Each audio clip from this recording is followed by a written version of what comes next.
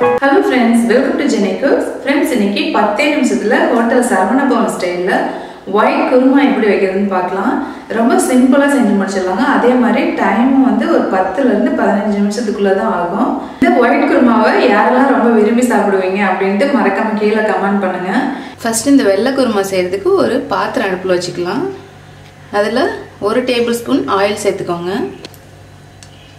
Oil சூடானவுடனே மூணு பச்சை மிளகாய் சேர்த்துக்கோங்க. லைட்டாக கீரல் போட்டுக்கோங்க. இல்லாட்டினா பச்சை மிளகாய் வெடிக்கும். கூடவே ஒரு டீஸ்பூன் அளவுக்கு சோம்பு சேர்த்துக்கோங்க. கசகசா ஒரு டீஸ்பூன் சேர்த்துக்கோங்க. இது கூடவே முந்திரி பருப்பு ஒரு நாலஞ்சு சேர்த்துக்கோங்க. முந்திரி பருப்பு இல்லாட்டினா பொட்டுக்கடல பாதாம் எது வேணாலும் சேர்த்துக்கலாம். இந்த கிரேவி வந்து கொஞ்சம் திக்னஸ் கிடைக்கிறதுக்காக நான் வந்து ஒரு பத்து பாதாம் சேர்த்துருக்கேன். நீங்க இந்த முந்திரி பாதாமுக்கு பதிலாக நீங்க பொட்டுக்கடலை கண்டிப்பா சேர்த்துக்கோங்க. பொட்டுக்கடலை சேர்த்தீங்கனாலும் இந்த குழம்பு ரொம்ப நல்லா இருக்கும். என்கிட்ட பாதாம் கொஞ்சம் அதிகமா இருக்கிறதுனால நான் வந்து பாதாம் சேர்த்துருக்கேன். இன்னும் கொஞ்சம் பொட்டுக்கல்லையும் சேர்த்துக்கிறேன். கூடவே ஒரு கால் மூடி அளவுக்கு தேங்காய் துருவி சேர்த்துருக்கேன். இதை ஒரு நிமிஷத்துக்கு மட்டும் வதக்கிட்டு ஆற வச்சு அரைச்சிக்கலாம். தேங்காய் நிறம் மாறக்கூடாது அதனால் சிம்லேயே வச்சு வதக்கிக்கோங்க. இப்போ வதக்கியாச்சு. இதை ஆற வச்சு நம்ம அரைச்சிக்கலாம். இப்போ தேங்காய் பொட்டுக்கல்ல பச்சை மிளகாய் இதெல்லாம் நல்லா ஆறிடுச்சு. இப்போ மிக்சி ஜாரில் போட்டு அரைச்சிக்கலாம். இதுக்கு தேவையான அளவு தண்ணி சேர்த்துக்கலாம். இப்போ இதை நல்லா அரைச்சாச்சு. இந்த வெள்ளை குருமா செய்கிறதுக்கு அதிகம் ஆயில் தேவைப்படாதுங்க. இப்போ இது கூட இன்னும் ஒரு ரெண்டு டேபிள் ஸ்பூன் அளவுக்கு ஆயில் சேர்க்குறேன்.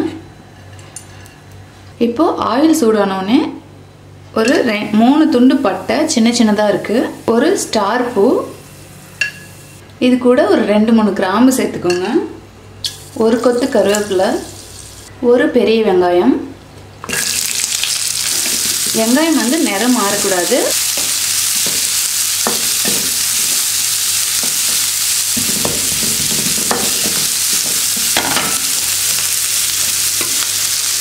பாருங்க இந்த அளவுக்கு வதக்கினா போதும். இது கூட வந்து நம்ம காய்கறிகள் சேர்த்துருக்கலாம். ஒரு ஒரு கேரட் பெரிய கேரட்டை கட் பண்ணி வச்சுருக்கிறேன்.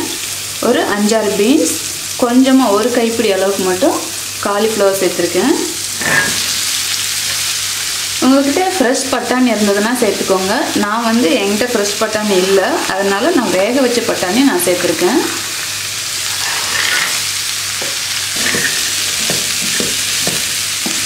இதை லைட்டாக கிளறி விட்டுட்டு கொஞ்சமாக தண்ணி சேர்த்து நம்ம இப்போ வேக வச்சிடலாம்.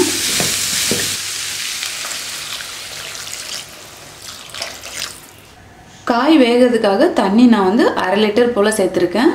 காய் வந்து நல்லா வேகட்டும். நம்ம தேங்காய்லாம் அரைச்சி ஊற்றும் போது நல்லா திக்காயிரும். இப்போ இது ஒரு அஞ்சு நிமிஷம் மூடி போட்டு நல்லா வேக வைங்க. உப்பு சேர்த்துட்டு திரும்பவும் மூடி போட்டுருங்க. அஞ்சு நிமிஷத்தில் காய் வெந்துடும்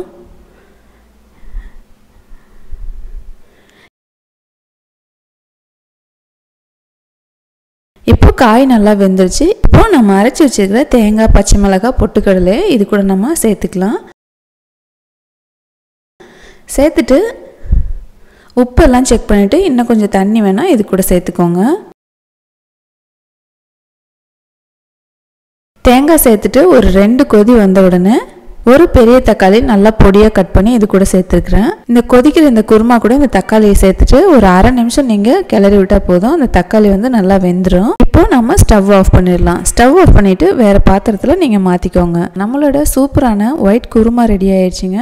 நம்மளோட சிம்பிளான சரவணபவன் ஸ்டைலில் ஒயிட் குருமா வந்து ரெடி ஆயிடுச்சு. கண்டிப்பாக உங்கள் வீட்டில் ட்ரை பண்ணி பாருங்கள் இந்த வீடியோ உங்களுக்கு பிடிச்சிருந்தா மறக்காமல் லைக் பண்ணுங்கள் உங்கள் ஃப்ரெண்ட்ஸ் ரிலேட்டிவ் கூட ஷேர் பண்ணுங்கள் மறக்காமல் இந்த குருமா யாரெல்லாம் விரும்பி சாப்பிடுவீங்கன்னு கமெண்ட் பண்ணுங்கள் ட்ரை பண்ணாதவங்க ட்ரை பண்ணி பாருங்கள் ரொம்ப நல்லாயிருக்கும் தேங்க்யூ